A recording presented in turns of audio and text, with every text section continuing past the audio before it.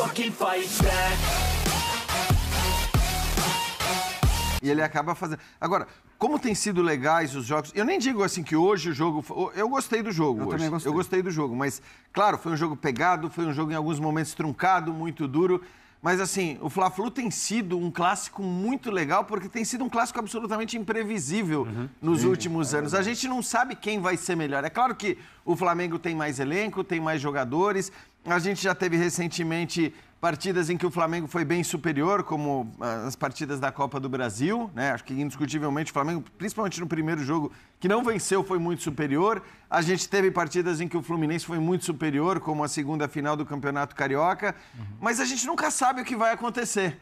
É, e, e são dois times com, com qualidade técnica, com jogadores que, que fazem o jogo fluir, mesmo quando a partida é mais pegada como hoje. Agora, é, é curiosa a declaração do Diniz sobre o VAR e sobre a arbitragem de maneira geral, por dois pontos. O, pri- é, o primeiro ponto é o jogo de hoje especificamente. Ele estava falando sobre o jogo de hoje, né? Sim.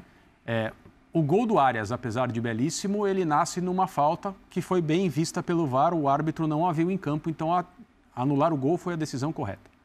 O gol do Gabriel Barbosa, também um gol de puro talento individual. O Flamengo, do ponto de vista futebolístico, não fazia por merecer ganhar o jogo e provavelmente ganharia. O, o gol foi tarde já. Ia ser mais uma vez Isso. o Gabriel nesses aí, momentos, é, né? Ia ser, não, então, é, ia ser um gol que ia aumentar a, a aura do Gabriel decisivo, independentemente do resto que Ele não acontece. estava bem como vários jogos, né? Isso. Que decidiu.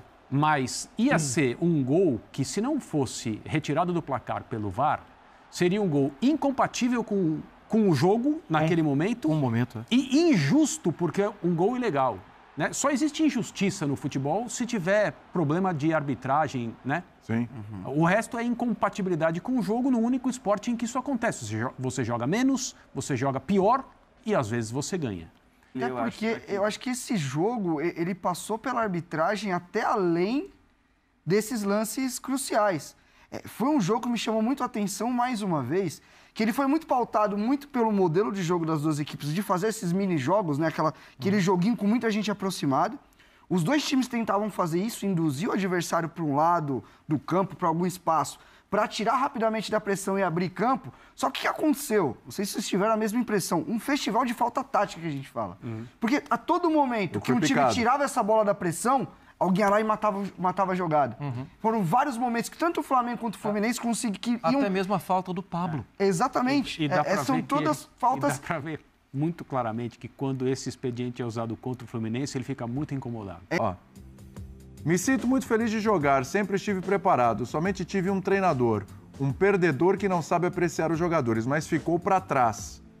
Eu tava vendo essa declaração agora há pouco, tava até mostrando Que pro, pesado, pro, pro? Jean aqui. "Mas que que ele tá, é do São Paulo mesmo que ele tá falando? É, o pois é. perdedor do São Paulo. Rapaz. Aí o Jean até falou, será que foi do Vitor Pereira? Mas me chega a informação agora que realmente É, foi não, foi do direcionado Sampaoli. ao Sampaoli. Uma, uma declaração direcionada ao Sampaoli aí do Vidal, que quando chegou o Sampaoli e o ano virou, e tá bom, quando virou já com o Vitor Pereira, né? Pensou na possibilidade de ser titular, acho que ele achava que ia ser titular do time. Ele segurou um pouco o ano passado, porque chegou com um bonde andando, a coisa estava funcionando com o Dorival, inteligentemente segurou. Ele achou que ele ia ser titular do time.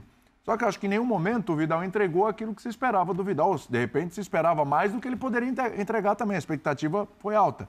Os concorrentes até entregaram mais. Exatamente. Uma questão- é. Exatamente. Agora ele vai para o Atlético Paranaense e dá uma declaração dessa. Sabe o que eu acho engraçado? É assim, ele não. Ele era banco na Inter Então, e nu- nunca não, não abria a boca, não, não fazia um pio. Ele entrava às vezes aos 35, aos 40 e tal. E assim, por que, que ele era banco na Inter?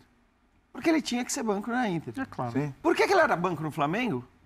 Porque ele tinha que ser banco no Flamengo. Exato, não Acho tinha- que não, não houve nenhum momento em que a gente olhava para as atuações do Vidal e dizia. O São Paulo colocou ele pra Pô, jogar logo no começo. Sim, jogo. ele até falou, Deu opa, a ele vai dar moral, vai, oportunidades. dar, vai dar espaço. Quando colocou talvez até o Marinho. por conhecê-lo da seleção chilena e tudo mais. Então, assim, é, ele é- deu chilique com o Vitor Pereira. é absurdo ele falar isso, porque ele não jogou para ser titular, ele ganhou as oportunidades com o Sampaoli.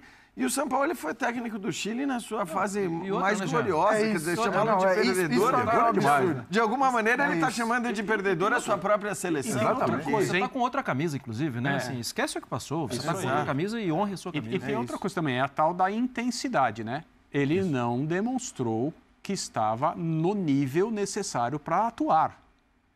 Durante E foi, um e bom foi um tempo. jogador que, quando fisicamente est- estava bem, foi um dos melhores da posição Isso, do mundo por isso, um bom claro. tempo. Isso aí, durante um bom tempo, porque o João Gomes não deixou. Sim. E eu tenho certeza absoluta que quando ele chegou, ele jamais imaginou que um jogador vindo da base do Flamengo, começando a sua vida no campeonato estadual, despontando, iria fechar a porta do time para ele. Lembra? Era o Flamengo do Dorival, que tinha basicamente duas escalações, uma para o Campeonato Brasileiro e uma para Libertadores e Copa do Brasil. E o João Gomes não deixou ele jogar. E o João Gomes está na Europa hoje. E ele fez o caminho inverso, num outro trecho de carreira, evidentemente, talvez pensando que, em termos de intensidade, exatamente, não seria necessário como, como era na Itália. E ele também não conseguia. O, o que é curioso para mim, ele, ele- até nessa declaração, né, assim, "Ah, a partir de agora eu vou jogar desde o início, bababá, babá. Isso. Eu não tenho essa certeza. Eu não tenho Também não. Na forma, na Também forma não. como O que o Atlético acontecer joga, lá? na forma como o Atlético Paranaense joga, talvez seja necessário mais intensidade. Não, e o setor? Você olha pro E quem- setor. quem tem vai sair? Eric, Quem vai tem- sair? Tem É isso. Christian, tem Alex Santana, o Citadini, que foi muito importante pro Atlético, tá saindo porque tá sem espaço. Fernandinho. É, o Fernandinho. Só tem o Fernandinho lá. É, e, e enfim. E aí, o e é Fernandinho isso. vai sair pro Vidal jogar? Acredito então, que não, né? Fernandinho certamente não. Acredito que não. Se- É, então é porque ele, po- ele pode encontrar a mesma não situação. joga. Ele pode encontrar a mesma situação dentro do Atlético Paranaense. Sim, certamente. Vai. E talvez aí ele Certamente. seja... E, e além E aí, o do João? Gomes, O que que ele vai fazer? o Pulgar, que com o Sampaoli Uhum. chegou no Flamengo, Vitor Hugo chegando, aí Gerson chegou. O Alan. Todos o Alan melhores. Que vai ser chegou, titular, que né? vai ser Exato. titular. O, o próprio Matheus França, que joga um pouquinho mais adiantado. Então, cara, é, tem hora que você olha e fala Ele- assim, os caras são bons. Ele perdeu espaço na fila. É isso. É isso. E, e no, e no- e no Atlético Paranaense é o que, Fila o, é é o, que, o- é o, que o, o André falou. É um time que o setor exige uma rotação muito maior.